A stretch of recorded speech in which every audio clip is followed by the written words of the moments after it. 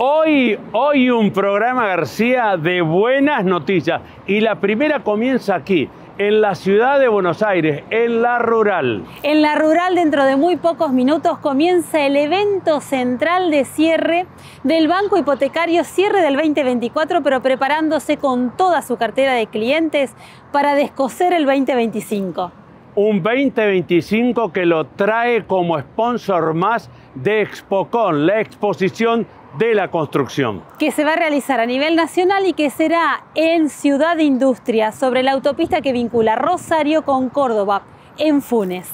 Y la segunda buena noticia, nos vamos rápidamente a la ciudad de Rosario. Allí te vamos a presentar a Erradep. Valentina estuvo visitando Erradep porque ya confirmaron su participación en Expocon y te cuentan con qué se van a presentar terminamos en Arredep y rápidamente Valentina se fue a Boyama Pintura. Atención, van a estar en Expocon y van a presentar un nuevo producto. Le van a poner todo el color al mes de abril allí en Ciudad Industria.